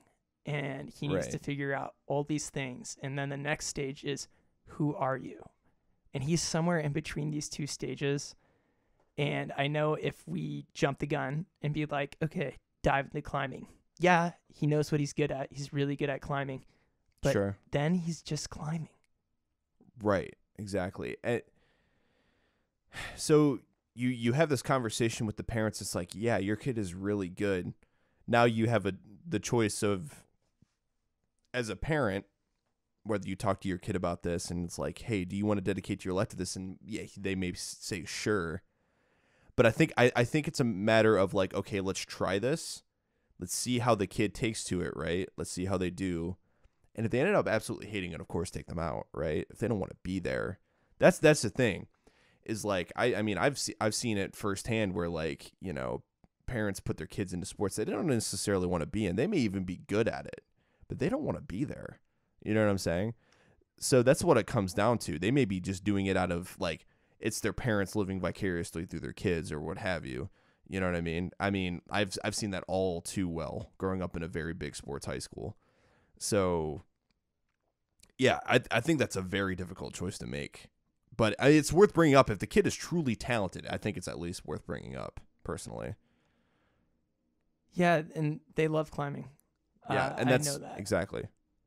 and geez, there's um, I see a lot in this kid of what I saw in myself when I was his age, Yeah. and uh, I've been with this kid for two years, Okay. and there's like this this quote. I don't know who said it, but like you know, we we say that we see the best of ourselves in the kids that we teach and the kids that we raise and the kids that we're like part of their community but we also see the worst of ourselves in them and i don't i see like what relationship i have with climbing Yeah. and what relationship i've had with sports as a kid Right. and I like I played football. I never liked football. My parents made me play football. My father made me play football, and that's something that like I haven't exactly forgiven him for be- and cuz like I wasn't able to explore what I liked as a kid. And I hope that this kid I hope that I am right in knowing that he likes climbing. I really do. Right. I think I think it's a matter of just checking in with him and being as transparent as possible and having him being as transparent as possible too, right? Like just being honest. Like I think the most important part of that situation is opening it to where the kid feels like he can comfortably state how he feels. You know what I'm saying? Because the the minute that he feels like he's he's taxed with doing this thing just because he's good at it, right? Like this is now a burden on him because of his talents. I mean, that's that's when when you, you lose out on it, right? I mean, granted, there's the whole like motivation of like if he's really good at this thing, he could become an Olympian, he could become sponsored, he could make a lot of money, blah blah blah blah blah blah blah. It doesn't matter at the end of the day when you're if you're not happy, you know what I mean? Especially if I mean the kid pursues climbing and and somewhere along the way he fucks himself up, you know? Yeah, that's the other fear. yeah. about like you put so many of your apples into rock climbing and then rock climbing enters you and then you can't climb and then like how do you get that feeling again like right. geez i have gotten injured time and time and time again but i just keep crawling back i keep doing these like extensive rehab programs going through so much pain and it's just to get the feeling again it's just like Chasing the dragon, so to speak. yeah and it's Yeah. back to you know my hype song Bill Callahan's "Riding for the Feeling." Damn. Yeah, I, I feel like if that if someone made a biopic about Rodger, that would that song would have to be in there. I so that that's so crazy. But like, but would you take it any other way, or would you would you have it any other way? I don't know. It's it's hard because I only have my one experience. Right. Um, You don't know what you haven't experienced, Yeah. right? So, Yeah. Jeez. I I think about like if I could change things, would I, right? Right. Of course. Well, there are some obvious things that at first I'd be like, "Oh, yeah, I would change not getting that fibula fibula injury when I was playing soccer." But that fibula injury allowed me to go to physical therapy and uh, learn a lot, a lot of information that I've been able to pass on to the teams that I coach and help them not get this injury and help them not get any version of an ankle sprain. So I'm I'm like thankful for that injury and I that should be the easiest thing. That should be the easiest thing to go back in time and be like, "Oh yeah, of course I don't want to dislocate my fibula. Of course I don't want to break those bones in my face." right. But But it's all part of the learning experience. yeah, and if I can suffer through these things to learn those lessons, I'm good at teaching. I know that. Yeah. I know that I can I can teach these kids to not have these experiences and like show them the ways to avoid them. Yeah, and I mean, I think injury prevention is a is a very important thing. Like, I seven years of football, there's definitely points where like I liked playing football. Definitely points where I fucking hated it. Didn't want to show up. There was a whole thing with that happened my senior year with with small town football politics and drama um, that I won't get into here. But at the end of the day, like I'm very thankful for the way my coaches approached things because I walked away with basically no major injuries my entire seven year football career, which is fucking impressive. Because especially during the season, all of our workouts were centered around injury prevention. So I came away really, really lucky. Um, and so in that way, I'm thankful. Now to but your to your point, do I regret playing football? Yeah, sometimes. But I, to, to your other point, I think that the lessons I learned, especially through that whole situation my senior year, I learned that as as an individual, right? Like I I'm I can persevere, right? Like no matter how shitty the situation gets, I can pull myself out of it like mentally, physically, right? But it also helped me become very self-aware, right? Especially now looking back, you know, hindsight 2020 blah blah blah. Um because it, it helped me realize, you know, just the sort of bad state I was actually in after it was over, right? Like how how mentally draining all of it was. I mean, small town football, dude, like especially in that town, it's fucking brainwash. It really is. Like I we were brainwashed to a degree. You know what I mean? Like like, you know, this no no fucking weak links, no you know, don't be a pussy. Come to show, you know, show up, you know, don't be afraid to hit people, you know, or and if you're if you're early you're on time, if you're on time you're late shit like that, you know. And if and it, it was it was so cutthroat to the point where like if you missed one weightlifting session, one practice, whatever, it was like you weren't even a part of the team anymore. You were you were part of the team, but you weren't really part of the team anymore. It was shit like that. Even if you were 100% committed, like a lot of us were, the moment that you even thought about like being late for practice or whatever, you, like the coach was looking down his nose at you, and so it it was it was kind of that fucked up the relationship where it's like, does this guy really care about me? You know what I'm saying? Like, does this guy actually care, or are we just like cogs in the machine to win another championship for the school so they can make more money, or make somebody look good? You know? Yeah, uh, and you know, I'm a, I'm a sociologist. You may not know that, maybe. Yeah. I'm I'm a I'm an But- armchair sociologist. Yeah, same. Uh, that is those tools that you described are actually really great for making a, a strong team. But they're tools of homo socialization. Yeah. Yeah. And I and I think that's that's true too to the but to the point where if it's negatively affecting someone mentally, I think it's going a little far. is. It is negative. It is. It is bleeding out any individuality, any differences. Yep. Because if you have individuality, it could create variables, and variables don't oftentimes work in your favor. Right. But it's also just weak and inconsiderate leadership on the coach's part Mm. to not be able to like especially with football which has this potential to be like such a beautiful organization of skills cuz you have these roles that are hyper specific there's the tight end there's the quarterback there's the guard. And like they they are individual roles and they all have their own unique jobs. It almost makes sense to like really promote individuality instead like uh to to a point but that doesn't happen.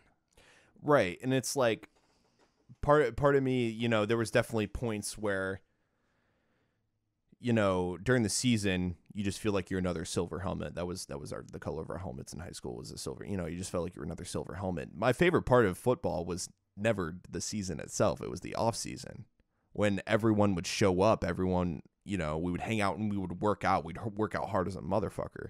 That was my favorite part of it because it just felt way more lax, right? It wasn't like you know you were working on goals for the season, but the season felt far away, right? Like you were just worried about you know being physically ready for the season, and that's all you were worried about.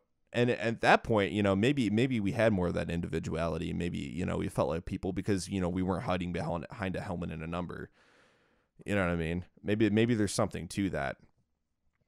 Um, but yeah, from a sociology pers- perspective, like coaching is such a, a crazy thing. There was that uh, God, what one of one of an underrated film. That what was that movie uh with Steve Carell, Channing Tatum, and they were like running a wrestling team or something like that. Uh, Fox, fox some a Fox, Foxcatcher? Foxcatcher. yeah i haven't That- seen it but i know it, i know the story Dude, that movie is underrated. Such a, that was a such a harrowing movie. Um, so the but there's a part where Steve Carell's character has a monologue about coaching, and he's like, you know, a coach is one of the most powerful people in a person's life, and I'm like, holy shit, that is so true. So like you as a coach, I've never been really a coach personally, but you as a coach, like how does how does things like that affect you like the from your experience like how does that affect your coaching technique i take social modeling very seriously yeah I will not do anything that I don't want the children to do. Anything. So, what this does mean, though, is sometimes I swear and I let the kids swear. Ooh, hopefully the parents don't find out about that. uh, I don't let the kids swear at each other. I don't let the kids even say shut up to each other. And I won't say that stuff. I will never say like anything that tries to um, do like social homo homosocialization. So like I won't try to control the status quo ever. And when I am social modeling this, I'll be pretty weird. I like I promote weirdness and being okay with weirdness and uh like even with the kids, I let them like mess around with each other, like wrestle and whatnot, because they're kids. They need to have time figuring out like what is okay behavior and how everybody has to have a different definition of okay behavior based upon like what they feel about their own personal space. Like sure sure in our motto is like as long as it's consensual, you're not gonna have a negative consequence. Like I've had these two kids go at each other, like wrestle each other, and they're just like playing around, like figuring out like where they are in their lives, potentially exploring other feelings about each other. sure I don't know. Uh, and I'll go up to them and I'll be like, "Well, is this mutually consensual?" And if it's yes, then like, I don't care. Like, that's I mean yeah that's that's that's certainly one way to put it I so not only that but like so then the actual coaching of, of kids into into bouldering so so what what is that like and, and you know like of course you have an entire spectrum I'm sure of of kids that truly are want to be there they're super excited to be there they you know they love to climb and then you have the kids that are like maybe this is just a fleeting thing, right? You know, maybe this is just like spur of the moment. Hey, mom and dad, I want to try rock climbing because that sounds fun. And it's probably not a thing they're going to pursue in the future. So, how do you adapt your coaching ability to kind of cover that spectrum of, of interest, I guess? I don't adapt. No. Really? So, um, my expectations for Right. the on-site teams, we have different levels of team. Mhm. On-site is the highest level of competition. I don't want to have to motivate the kids. The motivation has to come from them, and it can't come from their parents. And I know when it comes from their parents, and I will talk to their parents. Oh, it's it's so it's I very very clear. the team. Wow. Yeah, that's, You- you- actually happened. Yeah, take take Junior over here. You get you're done. Yeah, we had Yeah. a girl. She was especially talented, very strong climber. Mm-hmm. Hated climbing. Hated oh it. my gosh. And uh, at one point in time, uh, the other coach and I we we like sat her down and we talked to her and like, okay, well, we'll get you through this month. You can do what you want to do, but you know what? You don't want to be here. We don't want to make you be here. And I really like that kid. I really like her. So it was it was a bummer, but now I see her semi frequently and she climbs for fun. And it's great. Wow. And her parents, her dad was so mad at us for not like making her do things, but that's just not the way we work. No, you can't, dude. You can't. Yeah, my expectations for the kids. I have three expectations. At the beginning of the season, I'll tell them these three expectations. I want them to have autonomy. That's my first one. I want them to like own what they do and own themselves. I want them to have self-efficacy, which builds off of autonomy. I want them everything they do is motivated by their own discipline. And I want them to have self-advocacy. I want them to tell me when they feel things. I want them to advocate for themselves, which is the most difficult part. Well, yeah, because I mean, some of them just, I mean, whether it's they just don't understand what's happening around them or to them, or they just don't know how to talk about it. They just don't know how to verbalize it. Yeah, and I think I could do better at helping them be advocates for themselves. Mm-hmm. Uh, I do talk about like body check-ins and like how in our warm-up, I repeat the same joke over and over again, where I'm like, I don't know what your body is feeling. How, how's your body feeling today?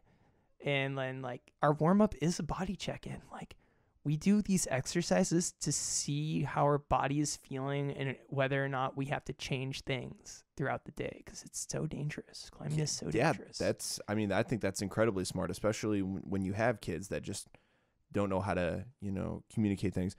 And and, and it's funny because it's learning and understanding your body and your mind is a constant lear- learning process. Like even even I sometimes don't quite understand, you know, why I think the way I do or why I feel the way I do.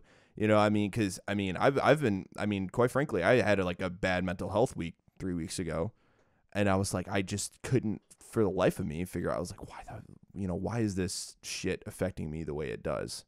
You know what I mean? So like, I had to sit down and kind of like self reflect and kind of really get down with it. You know, talk to people, really, you know, break it down and try to understand like and dissect why I felt the way I did. And and that way, I mean, of course, like venting is always cathartic, right?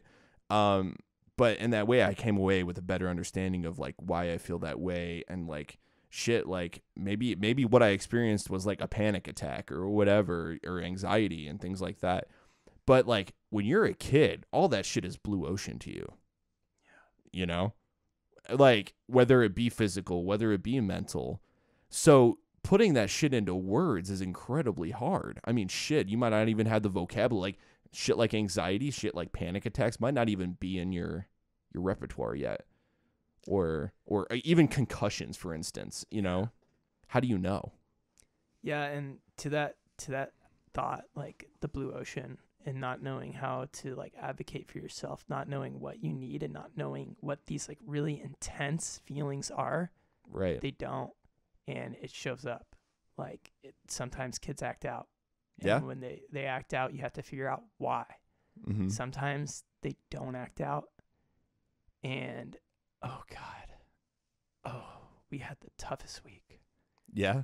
the toughest week on team where in two days I found out that two kids were cutting. Like cutting themselves. Yes. Really? How old are these kids? Oh, these ones like 15 and 14. Okay. Too young. A- a- about that age though. yeah. Yeah. It's just, you know, oh, I took that so hard. I re- I found out like these back-to-back days and on the second day, I like ended practice half an hour early and I had everybody sit down at the table and just like talk. Really. And then afterwards, have- those two kids were there, them included. they, they were there. Okay. Uh-huh. We didn't talk about that, Well, of course. but we yeah. just like told stories okay. and oh geez, I forget the stories that I told, but ones with like themes of supporting each other and kumbaya and whatnot, like so Seattle. It was so it was such a Seattle moment.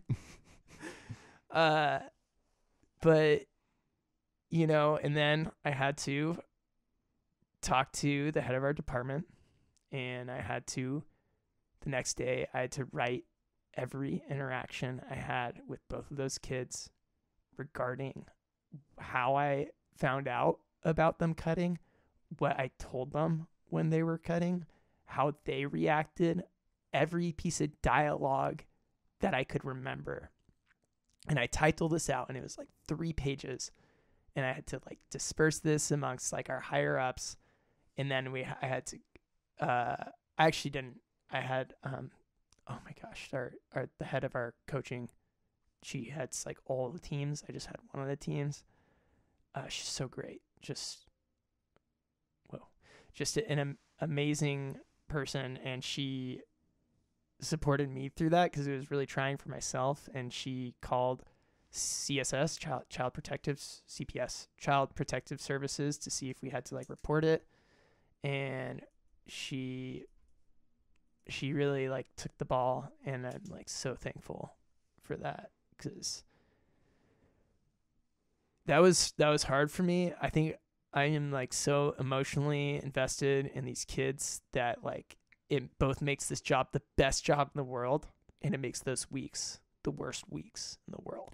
yeah, the the way the kids are feeling is the way you're feeling by extension, really. And I think you shouldn't beat yourself up too much about it because I think that's signs of a good coach. I think that's someone who is empathetic and truly cares about what they do. Um, and that's great because, I mean, I think you and I both have had coaches that are the opposite. you know, I think we have both have had people, whether it be teachers or coaches or what have you, that you know they come into your life and they're just they're just not that invested. They don't care. You know, you're just you're just an, another another. I mean, not even maybe a name to them. You're just another person that rolls through their life and leaves. You know. And so I think the way that you approach things is really good, and I'm glad you handled the situation the way you did. So did you? So you did you didn't talk very candidly about this whole situation with them. It was more so like, or was it kind of directly? Yeah, we we talked. We Oh, you did. Okay, Yeah, so you like uh-huh. very like you asked about the subject at hand with the whole cutting thing, and yeah, okay, and geez, it's uh yeah, we don't have to dive reason- too deep. Like to talk about how, the like as much as you're comfortable. I'm not gonna I'm not gonna pry. I honestly, which is this is funny because I, I had to write everything down, Right, but I right. honestly like I can't remember our conversations very well, which Yeah. is the exact opposite of like how psychologists talk about memories. Usually, your traumatic memories stay with you. Maybe they weren't Sure. that traumatic for me. I sure. I remember after that practice, we have like a, a like closet. I remember going in the closet and just like turning out the lights and just like sitting down for like ten minutes and being like By yourself. by myself. Okay. these kids why? What? Why? I was so mad. I was not at the kids. I was just so mad at everything. Yeah. oh like what could possibly make you self-harm? You're a kid. You're supposed to be having so much fun. Life is supposed to be that's the best But they're doing it because something isn't so good in their life. yeah and you know uh that's when i probably started trolling instagram Uh, Trolling. Yes, I you know, I attribute it's easy for me to blame the bad guy. It's easy for anybody to blame the bad guy. And for me, Instagram because is? of yeah because of all this research that I've done into uh. Developmental psychology. yeah, upward and downward social comparisons and stuff like that. The bad guys, Yep. social media, Yep. It's part of it. It's definitely 100% a huge part of it. and my catharsis, which is also a misnomer, by the way. Catharsism is not a good practice. It actually reinforces the aggression usually. Uh, but my catharsism was putting a post up on Instagram and then smack talking Instagram. Like the Instagram in itself. Oh yeah, I would just Okay. burn on social media and burn on everybody who would ever look at this post. Yeah, so that's all my Instagram content. Uh, I don't post a lot, but uh, when I do post, I'm mad. Yeah, I I uh I definitely have some some some qualms about social media. Um and it's such a love-hate relationship for me, but so so back to these these two these two girls, right? It was two girls, correct? Yeah, Okay. Um so do you do you think that it it stemmed from like a home life thing? Like do you I mean is the shitty at home or was it like social pressure at school? you know, one of them, uh, I actually coach. Oh, I can't say identifying information. Uh, so absolutely don't. Yeah, I actually don't. think I can get into that. Okay. Mm-hmm. Okay, gotcha. All right, let then let's let's let's kind of circumvent that. But like, just in the grand scheme of things, like as a coach, man, that's just you. You, I mean, it's it's like being a teacher. You're getting kids from all walks of life. You know, you'd never know what kind of home life they have, what kind, you know, what the shit that they deal with, right? And and so I think that showing up to, you know, climbing, you know, and and coaching them every day. I mean, it's you never know what you're gonna get.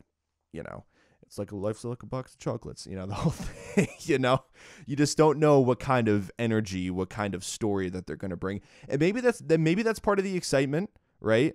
Maybe I mean dealing with people, right? It, that's that's what makes dealing with people so interesting, is because you know you have all those variables, but at the same time you have all those variables, right?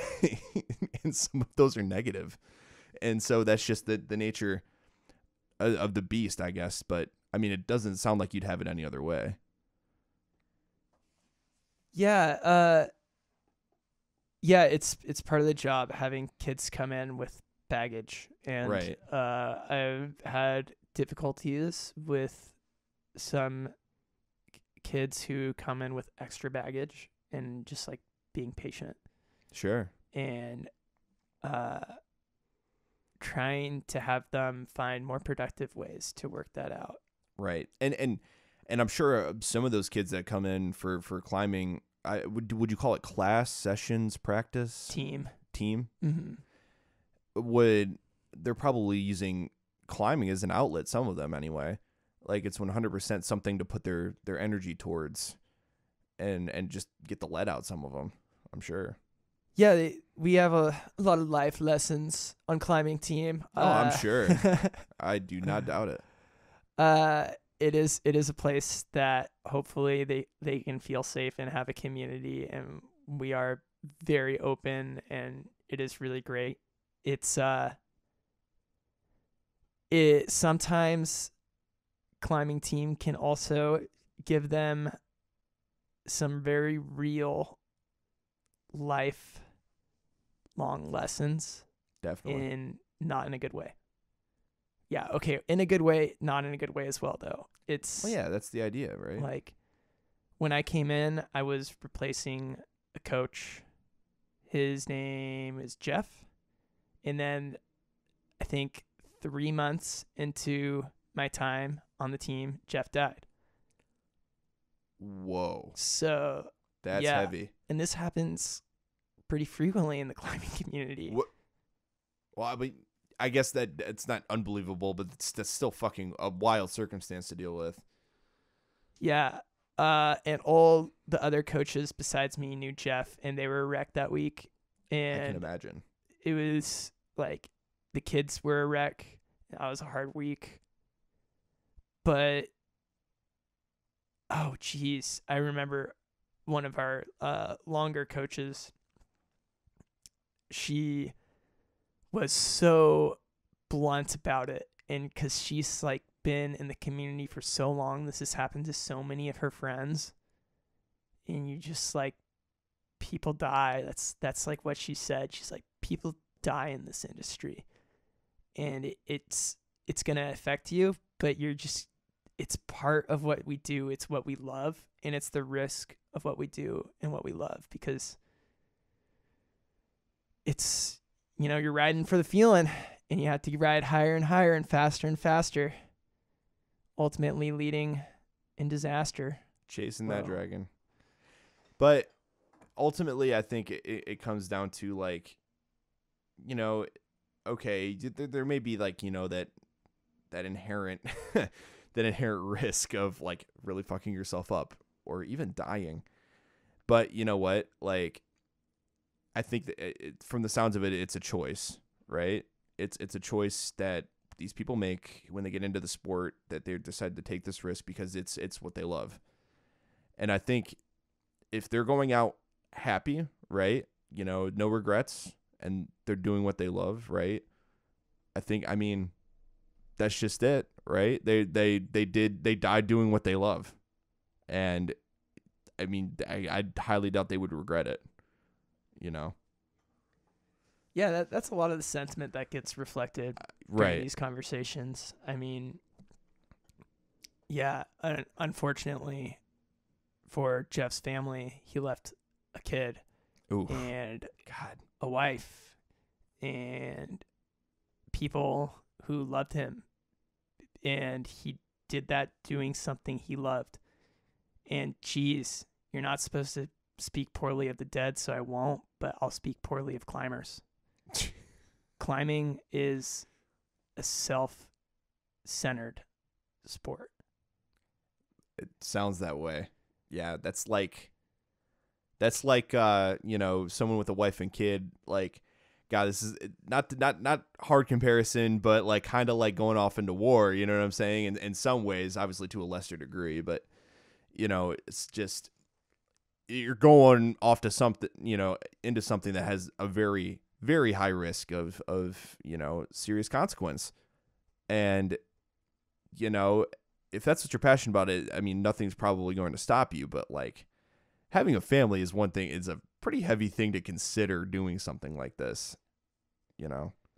And I, I watch a lot of climbing media, a lot of climbing movies. Mm-hmm. and like stories of people climbing like K2 or climbing these crazy mountains or these really hard climbs like and it's important to know and to just like keep reminding yourself these people aren't heroes. Nothing that these people are doing actually matters. These people are doing it the same reason why you're doing it. They're doing it for the feeling. The They're doing it because they love it. And it's for Right. them. And it's nothing better than getting to the top of a rock. It's nothing it has no consequence. Don't heroicize them. Jeez, yeah, I I completely get. It. I was like, not to take us too off uh, off track here, but I was reading a. Uh, I went down this whole rabbit hole with uh, the thalassophobia. Are you aware of thalassophobia or thalassophobia? So I'm not. thalassophobia is basically a fear of like open ocean, op- like open sea, like basically fear of the abyss. And so it led me into this whole rabbit hole about deep sea divers and deep sea cave divers. It's basically like kind of like climbing, but the opposite direction in a lot of ways. Uh, and it's that whole thing where these people just did it for the thrill, did, did it because they love it. And there were every time they did it, there was a chance that those motherfuckers were gonna drown. They were gonna be stuck at the bottom of a water in a watery grave, never come back.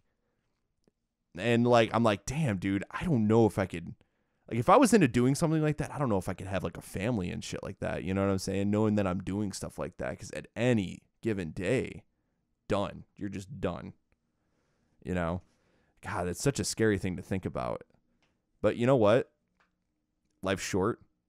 You know, Uh, you could die any given day. I could walk out right now and a bus could hit me. And that it's over. That's it. So, you know what?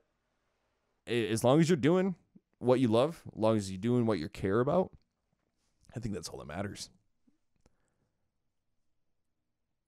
Yeah.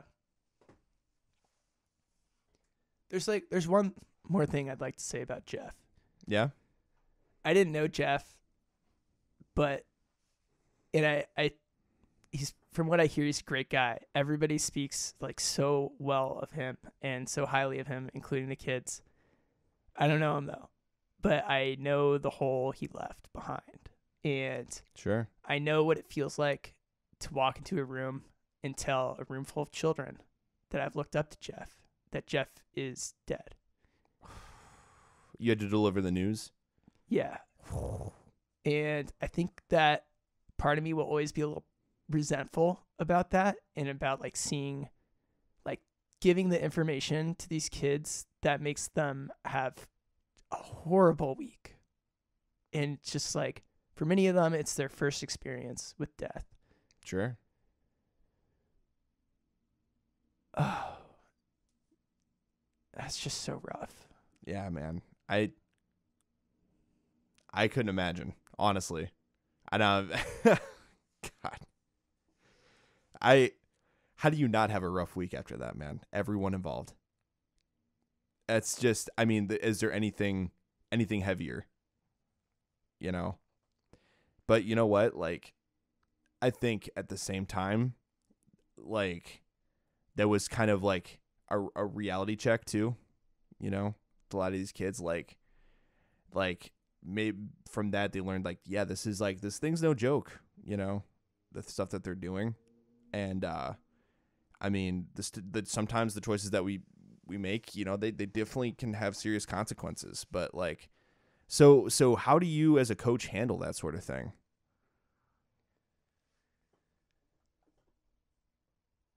Um when that happened everybody else on the coaching staff was devastated. right and you were the one that was kind of like i didn't I really didn't know, know- this yeah. guy so So so A you were lot the of ca- them left actually. a lot of the coaches Yeah, they Like, they just quit? temporarily, temporarily. They Okay. just like couldn't be there. And then uh geez, oh my gosh, I remember so it was myself and Mercedes, she's another coach. And Mercedes like stood in the corner of the room that we have them warm up in and I was like, okay, I uh I need everybody to listen up and, and hang out. And I remember one of the kids said, I bet you somebody's died. I was like, fuck. oh man, dude, like, come on. I'm sorry this is so bad for you now. Like, because, like, this kid didn't know the person who had died, no. but everybody around him is going to be crying in two minutes. Oh no. Oh no. Oh shit. kids need to be able to make mistakes. And I guarantee you this kid will remember that mistake for the rest of his life. God. Okay, so so I wonder what, what was that kid's reaction when you had when you dropped the bomb? When I dropped oh my gosh, this was horrible. Uh Yeah. when I told everybody what had happened, some of them had already known. Uh, Okay. We had sent out a message to a lot of the parents the night before when we had found Oh, out. I mean, I would hope so. Yeah. Yeah. And like before I could even drop the bomb, kids were crying. Jeez. God. Uh, some kids were laughing because that's like I just laughed right there because that's a way to deal with stress. I mean, it's a coping mechanism. Yeah. Yeah. um, and it was weird. And this kid had some. Jeez, I hate speaking poorly about my children. I hate doing it, but he did not react to this situation. He did not. I won't get into the specifics of it, but he did not do well. And we, I had to, I had everybody go do their on the wall warm up, go climb, do whatever. It was a relaxed day, relaxed. The climbing was relaxed Right. and this kid stayed behind with another kid and i'm like i uh i told him that i couldn't imagine how he made his teammates feel and it was the f- only time i have been so intense with the kids that Really? like I saw his face and the kid next to him, and they were they didn't know Jeff. They're on the verge of tears, and I I wasn't yelling. I don't yell at the kids, but that time I just like I slammed the book on them. Was because they were laughing. Yeah, Yeah. and ooh, one of the kids broke down crying. Just just when I told him like how he could have made the other kids feel by like being so disrespectful during that time. Uh the other kid he he's a complicated case. He's actually no longer on our team. Uh oh wow. it wasn't because of that, but that was definitely part of the picture. Of like a, a long string of behavioral stuff. At the end of the day, he opted to leave the team, Mm. but it's hard.